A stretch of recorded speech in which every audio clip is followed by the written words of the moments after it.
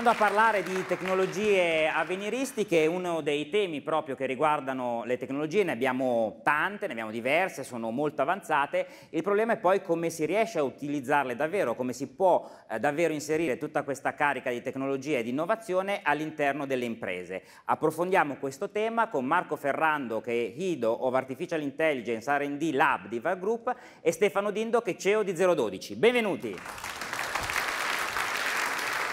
Grazie, Grazie Francesco. È davvero un piacere. Grazie. Grazie mille. Allora, appunto, il tema è un po' eh, questo, cioè eh, l'intelligenza artificiale è un grande potente motore, l'abbiamo visto anche in altri interventi, ma come si fa a mettere a terra tutta questa uh, potenza? Come possono davvero le aziende sfruttare l'intelligenza artificiale?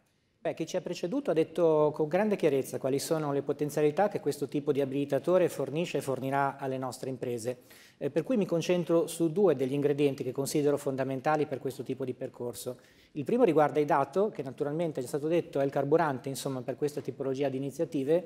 Il dato è fondamentale visto in termini aggregati e quindi quello che consiglio alle aziende è di lavorare al più presto possibile per creare al proprio interno una cultura del dato che significa naturalmente mettere a fattor comune le informazioni, correlarle e lavorare per governarle con particolare attenzione a quelli che sono gli aspetti della sicurezza, già stato detto prima, ma anche naturalmente della conformità a quelle che sono le normative. Il secondo punto è delle competenze e qui si può affrontare su diversi livelli, naturalmente quelle tecnologiche, ma in questo caso voglio concentrarmi su quelle che riguardano il management, il top management delle imprese, coloro che devono guidare il cambiamento nei processi e la trasformazione all'interno delle organizzazioni. Il nostro ruolo è proprio questo, essere fondamentalmente degli abilitatori capaci di affiancarci ai processi e al management delle imprese per mettere a terra esattamente il potenziale della tecnologia.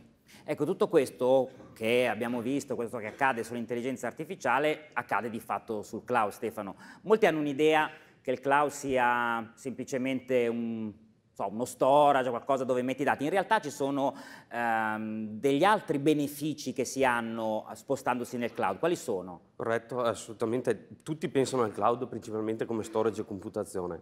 In realtà eh, prima è stato detto che il cloud è un insieme di mattoncini dove io ho il mattoncino dell'intelligenza artificiale, eh, dell'IoT, dell'Internet of, del, um, Internet of Things, ma anche di, di, quello che sono il machine learning e io posso mettere insieme questi mattoncini per costruire la mia soluzione. Il beneficio che porta principalmente in cloud è il fatto di mettere a disposizione una tecnologia eh, importante a portata di tutte le aziende che prima era eh, esclusiva per grandi aziende che potevano investire enormi capitali per riuscire a, a realizzare delle soluzioni.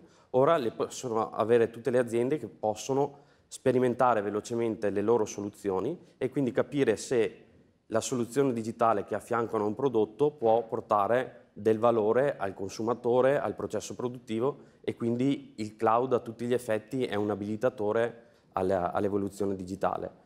L'altro aspetto importante del cloud computing è il fatto che questa prototipazione rapida sta portando anche dei cambiamenti culturali all'interno dell'azienda che possono a tutti gli effetti sperimentare velocemente e quindi non c'è più l'idea di partire con un progetto che deve sicuramente funzionare, ma parto con piccole soluzioni, le, le verifico e poi eh, decido se portarle in produzione oppure se magari rivedere quello che è il mio, il mio, progetto. Ecco, normalmente le aziende quando si spostano sul cloud magari hanno qualche resistenza. Ti volevo chiedere qual è lo svantaggio che temono e qual è magari invece il vantaggio inaspettato che poi si ritrovano facendo questa scelta. Allora, mh, lo svantaggio sicuramente è ehm, il fatto che il cloud si evolve velocemente, quindi eh, c'è bisogno di eh, molta competenza, competenza diversificata, quindi non basta più solo la conoscenza tecnica, ma bisogna avere la conoscenza umanistica, mettere insieme tutti eh, questi tipi di, eh, di aspetti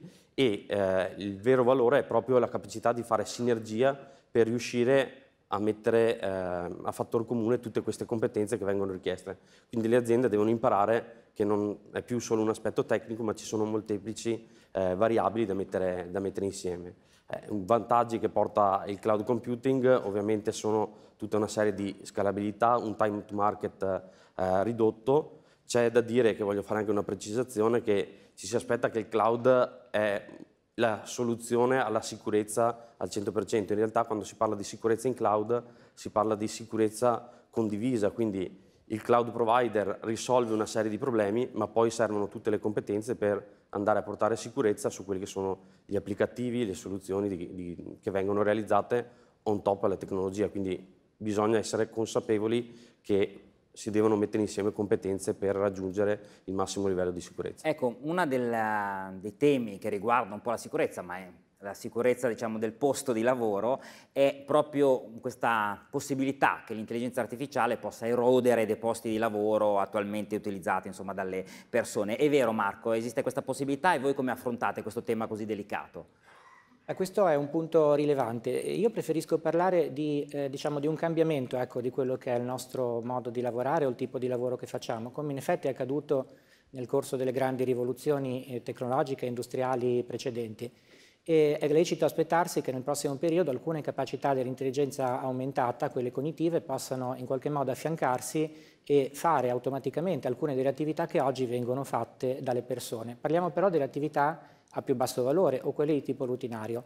Questa è un'opportunità in realtà perché le imprese possono concentrarsi sulla qualità ed è quella la sfida che occorre vincere per le nostre imprese italiane e sui mercati globali.